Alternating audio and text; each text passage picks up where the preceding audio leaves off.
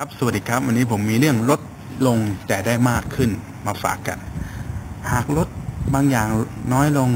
เราก็จะได้หลายสิ่งกลับมามากขึ้น ลดความโกรธให้น้อยลง เราก็จะได้สติกลับมามากขึ้น คิดถึงคนรักให้น้อยลง เราก็จะเข้าใจกันและกันได้มากขึ้น รักตัวเองน้อยลง รักคนอื่นให้มากขึ้น พูดให้ร้ายคนอื่นให้น้อยลง มีคนพูดถึงเราในแง่ดีมากขึ้น แสดงความฉลาดให้น้อยลง เราก็จะได้ความรู้เพิ่มมากขึ้น ออกนอกบ้านให้น้อยลง เราก็จะได้ความอบอุ่นในครอบครัวมากขึ้นอะไรวะ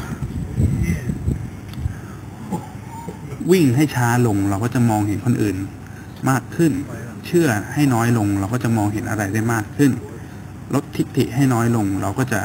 รู้จักอภัยให้มากขึ้นครับ วันนี้ขอขอบคุณครับ